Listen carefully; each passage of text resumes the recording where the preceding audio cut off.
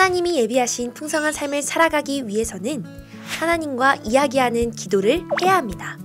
예수님은 끊임없이 기도하셨고 하나님의 뜻에 순종하셨습니다. 그리고 사역의 중심에는 항상 기도가 있었습니다.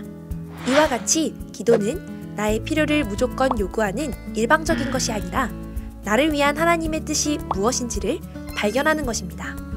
우리는 ACTS라는 기도의 네 가지 요소를 통해서 하나님과 더욱 풍성한 대화를 할 수 있습니다.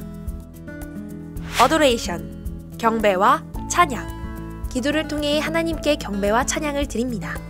여호와를 찬송하라 여호와는 선하시며 그의 이름이 아름다우니 그의 이름을 찬양하라 하나님은 선하시며 찬양받기 합당하신 분입니다. Confession 죄고백 성경은 우리가 만일 죄를 품고 기도한다면 주님께서 듣지 않으신다라고 이야기합니다.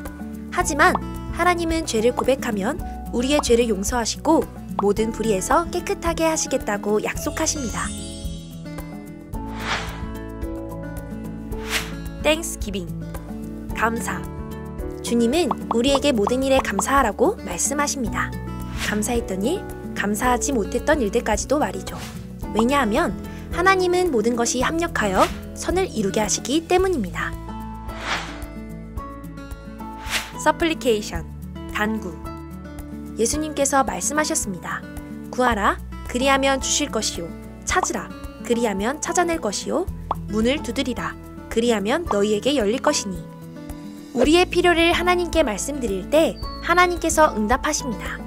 개인 기도 노트를 만들어서 구체적인 간구의 기도 제목들을 적어보세요. 하나님께서 여러 가지 방법으로 기도에 응답하심을 알게 될 것입니다. 오늘 배운 액치의 방법으로 개인 기도 시간에 기도해 보세요.